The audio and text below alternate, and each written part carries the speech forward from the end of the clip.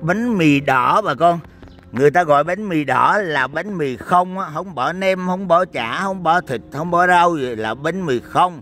Bánh mì mà nó cứ ra mì ra, năm ngàn một ổ, vừa nóng vừa giòn, vừa nóng vừa giòn, vừa nóng vừa giòn, vừa nóng vừa giòn, năm ngàn năm ngàn, năm k năm ngàn là một ổ đây. Đó, là ổ đó là mì đỏ. Thì nó cũng có hại như vậy cho nên những người có bệnh như vậy thì không ăn vui lòng đừng ăn để cho nó tốt cho căn bệnh của mình. À, cho nó mau lành mau bớt mau khỏi thì bà con ta không ăn nha bà con. Đó là những người bệnh đường huyết gây nghiện khi ăn hàng ngày. Nếu ta ăn bánh mì đỏ hàng ngày thì nó làm làm cho chúng ta nghiện nghiện nghiện đi. À, cho nên những người có đường huyết không ăn hệ tiêu hóa không ăn trẻ em suy dinh dưỡng tăng dưỡng huyết. Đầy hơi trướng bụng đường ruột mệt mỏi khó tiêu hóa là không ăn bánh mì đỏ là bánh mì không có gì bánh mì trơn trơn trơn à ha.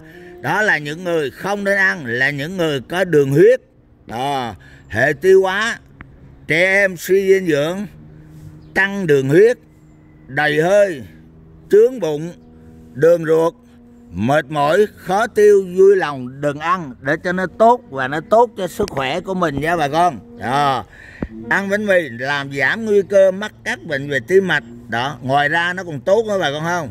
Đó. À, tiểu đường huyết áp ờ, làm giảm ung thư đường ruột giảm đột quỵ béo phì ăn bánh mì. Đó. Được cùng với các đồ bỏ theo không nên ăn bánh mì đỏ thì không có gì thì chúng ta ăn một ngày chỉ được một ổ thôi nha bà con, một ổ thôi. Một ổ bánh mì chúng ta ăn được một ngày. Chúc bà con ta vui vẻ, mạnh khỏe. Xin chào, na na na na.